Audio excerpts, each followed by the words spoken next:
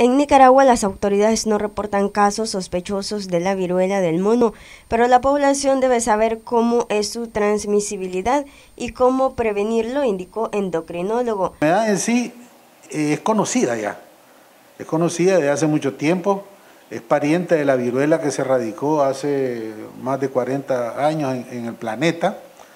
Eh, y eh, de, de, hecho pues algunos casos de viruela de mono fueron estudiados y se sabe pues que no es una enfermedad con alto grado de, mortalidad, como, como, uno puede eh, pensarlo. Pues.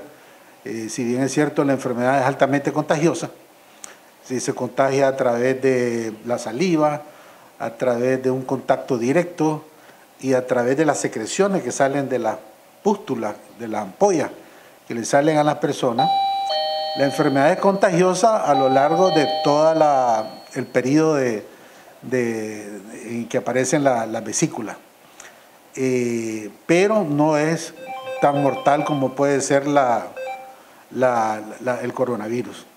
Entonces, por ese lado hay, hay una esperanza, ¿verdad?, de que no vaya a causar los estragos que causó el coronavirus, que a diferencia de coronavirus, nadie sabía cómo se iba a comportar. Medina dijo que ante esta enfermedad hay tratamiento. Este virus ya se conoce, eh, parece ser que las personas que fueron vacunadas hace 50 años contra la viruela eh, tienen inmunidad contra este virus.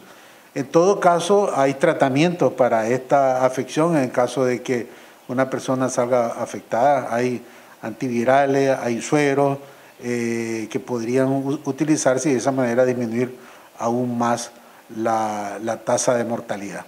Recientemente el Ministerio de Salud de Costa Rica reportó el primer caso de viruela del mono. Noticias 12 Darlene